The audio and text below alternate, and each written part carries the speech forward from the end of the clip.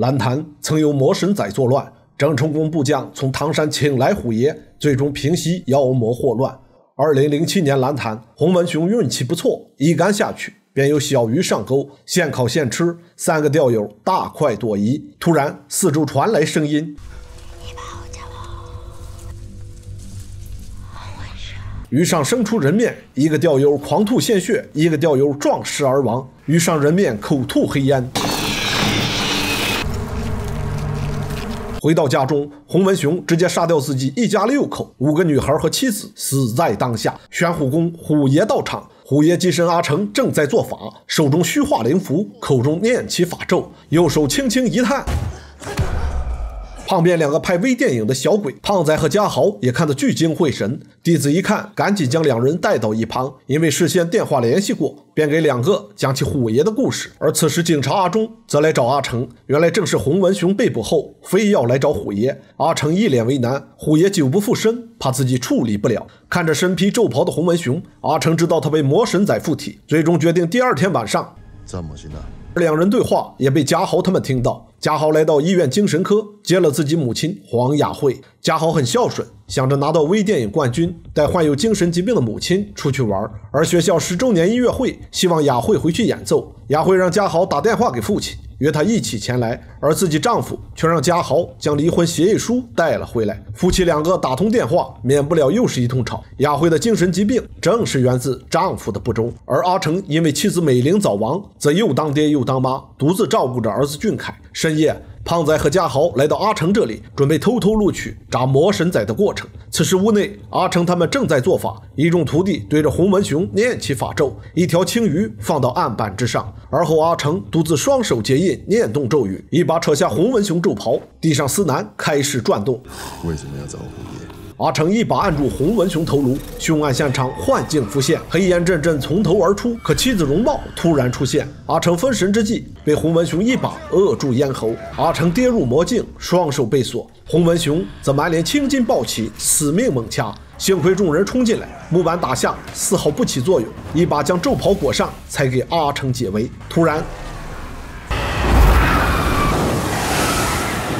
法袍顺势遮住，放到青鱼之上，再将青鱼直接放进油锅，趁着夜色深沉，将油炸青鱼放到垃圾桶中。两个熊孩子看罢，带着设备一探究竟，拿出炸鱼。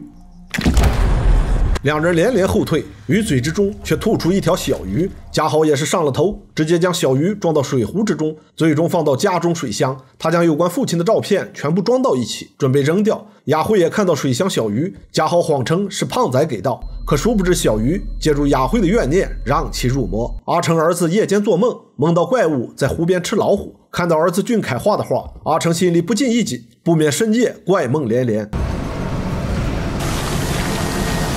敲门声惊醒阿成，却是阿忠深夜到访。原来洪文雄突然不见，看守的两个狱警也中了邪。二人赶紧来到洪文雄家中，希望能够找到追踪线索。阿成一看大厅是有风水大师布置，来到案发房间，罗盘转动。阿成俯身查看，床下竟有驱魔的护身黄符。走廊尽头墙壁，阿忠却看到晚上插香。回身查看之时，赶紧往外走。可把阿忠吓了个半死，赶紧出来抽烟。阿成说：“风水经高人算过，格局聚财，但魂魄却出不去。”而洪文雄老婆被杀时，第一时间电话打给的就是风水师雅慧。在家中练习钢琴，弹奏的是舒伯特的《魔王》。在琴键之上突然发现鳞片，回身却似乎看到了丈夫。难道精神病又犯了？打开门，空无一人。刚回身，丈夫凭空出现。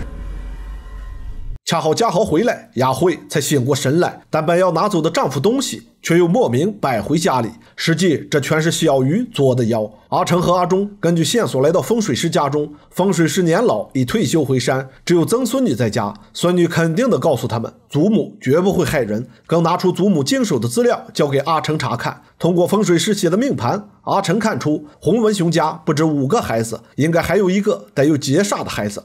重新回到洪文雄房子，走廊尽头香烛供火，看来有人常来祭拜。打开假墙，进到里面，地下室内一间屋子杂乱不堪，地上有沉淀血迹，墙上涂鸦也有小鱼。阿成更是在地上捡到鳞片，一份文件之中正有洪文雄之子得了鱼鳞怪病的病历记录。嘉豪则来到雅慧房间安慰母亲，会一直陪伴母亲身边，让母亲再去见一下精神科的医生。雅慧看着嘉豪送的母亲节礼物，倍感欣慰，打扫起屋子，重新清洗鱼缸，给鱼儿换水。刚把杂物收拾到一旁，回身看时。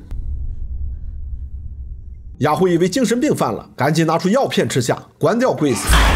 回头之时，响起声音，赶紧退到房间之内。手持的录影机里是嘉豪和父亲以及继母欢笑无比的幸福场景。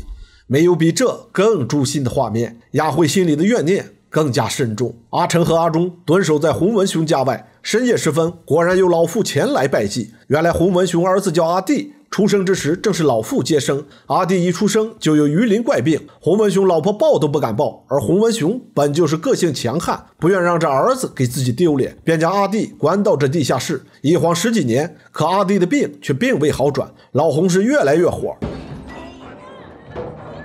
自从这夜之后，老妇再未见过阿弟，而黄雅慧家中怨念累积越来越多，搞得儿子也失去耐心，而他中魔的程度则逐渐加深。深夜之中，刚按停节拍器，回身之时，自此恶魔正是附身雅慧。嘉豪突然惊醒，来到鱼缸之前，循着踪迹来到浴室，拉开浴室帘子，附魔的雅慧邪气逼人，一步步冲着嘉豪走来。看着雅慧木讷的样子，嘉豪也猜出个大概，直接带着小鱼和母亲来到阿成这里，周袍盖上鱼身，阿成开始施法，一把神香绕头顶，阿成一把按下，幻象出现。洪门雄儿子被杀场景全都出现眼前，眼看魔神仔法力高强，弟子将小鱼一把拍死。阿成给到嘉豪护身符，便要去蓝潭山上弄清真相。阿忠根据阿成线索找到了洪文雄尸体，阿成只得来蓝潭山上开坛做法，一众弟子护佑左右，阿成念出咒语，而黄雅慧也来到学校演奏钢琴。没想到蓝潭和学校都成了魔神仔作妖的场所，蓝潭山上迷雾四起，死难转动，众多弟子入魔，现场一片混乱。学校听众们颤抖呕吐，好似癫痫发作。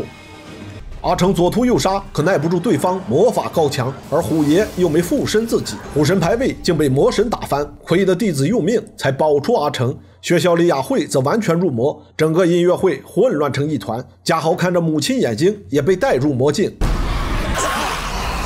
幸亏被自己老爸及时唤醒，两处场地一种境遇，搞得阿成心灰意冷，懊恼不已。回到家中，看到俊凯涂鸦，顿觉事情不妙。儿子说怪物来了，快要抓到自己。嘉豪也赶到宫庙来找虎爷，原来自己母亲雅慧已经失踪。阿成则马不停蹄带着儿子来到父亲这里，请虎爷在此出山附身。原来阿成因为美玲患癌症病死在医院，祈求虎爷相助，但是美玲终究身死，因此对信仰产生怀疑，道心不坚，划破身上所闻符咒，所以虎爷从此不再附身。这次父亲劝他放下心中执念。重新拯救苍生于水火。阿成正要离开，儿子俊凯却劝父亲不要去，知道此行危险，要保护父亲。